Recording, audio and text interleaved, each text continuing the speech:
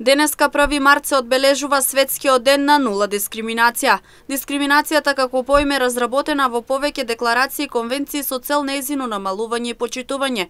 Член 14 од Европската конвенција за човекови права зборува токму за забраната за дискриминација, по секаков основ, пол, боја на кожа, јазик, вера, политичко или која и да е друго мислење, национално или социјално потекло, припадност на национално малцинство, материјална положба, потекло по раѓање или кој да е друг основ Иванов.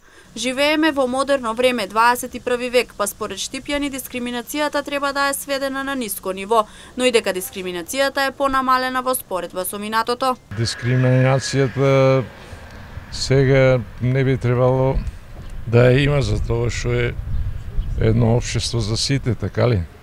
Да едноставно само мислам дека Македонец е најдискриминиран. Па мислам дека малку од малку е намалена.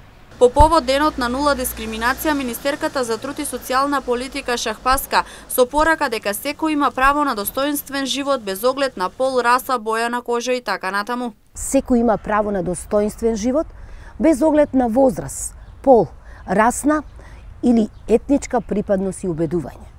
Секој човек е различен и секој човек има право на избор.